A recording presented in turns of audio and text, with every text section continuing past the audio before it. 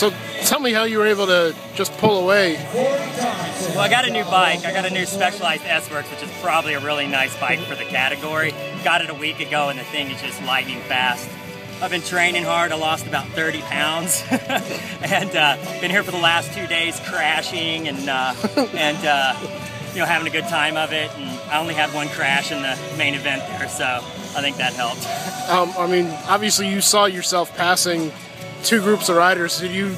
I mean, did you feel that much stronger? No, as a matter of fact, I thought there were still a bunch of people in front of me because there were people practicing on the course. So I just kept hammering because I didn't know who, how many people were in front of me or what was going on. So I got to run my own race for the most part. People were really good about getting over when I explained I wasn't in their class.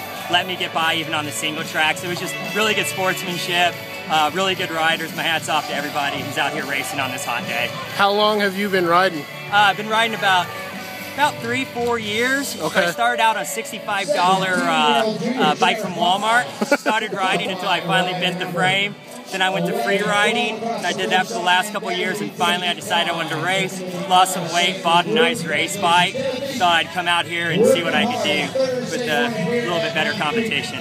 Well, congratulations. All right, excellent, thank you.